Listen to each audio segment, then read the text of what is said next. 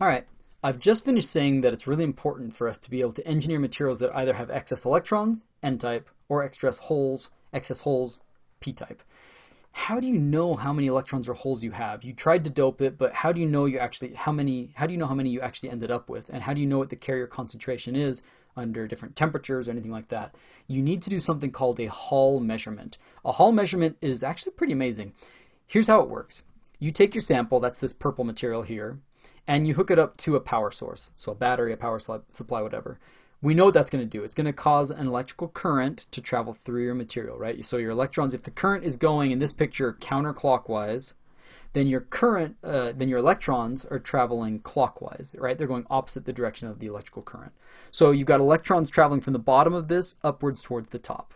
Now what you do is across your sample, perpendicular to it. So if this is your sample, perpendicular to it, you apply a magnetic field. That magnetic field, if it's let's say it's pointing up here, what that's going to do is you have a charged particle moving in a magnetic field. You learned about this in physics. This is going to exert a Lorentz force on your particle, right? Lorentz force says that if the current's going this direction, the direction of my thumb, the magnetic field's going that way, then your particle will experience a force in that direction, right? This right hand rule. So in this picture, what that means is that the current's going that way and your field is going straight up, your electron will get moved. It's going to get moved to this direction. It's going to get moved to that side of your sample. So if you have a buildup of electrons on this charge of, on this side of your material, and you measured the electrical charge across your material from one side to the other, that means you got a positive charge over here.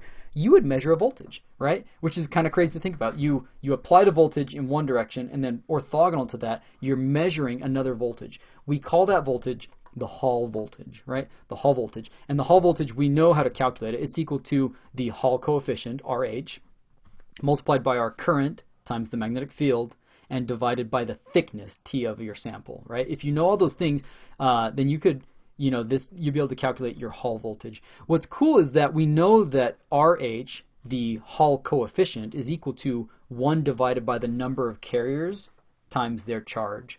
So this is pretty great because in this relatively straightforward setup, we can measure the Hall voltage.